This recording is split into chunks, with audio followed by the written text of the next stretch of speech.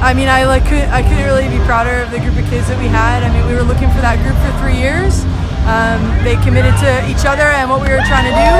Um, it's a big learning lesson to play in a stadium like that um, against a team that you know has a a solid preparation and solid um, resources and, and, players behind them. So um, proud of the girls. I think I said to them, in, this is in the bank for 2028 because that's what they're building towards. Youth Olympic Games was just an opportunity along the way for them. So hopefully they believe that because um, we do. So.